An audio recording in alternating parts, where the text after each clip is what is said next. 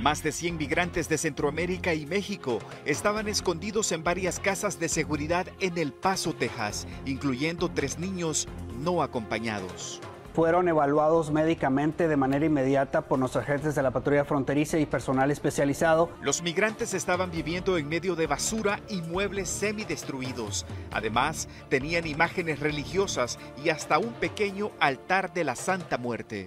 No tienen servicios públicos como lo es la electricidad, como lo es servicio de agua, como lo son muchos otros servicios que facilitan la vida de una persona dentro de esa casa. Para los residentes de El Paso, Texas, estos vecindarios mayormente latinos siempre han sido foco de tráfico humano debido a que la frontera les queda a media milla.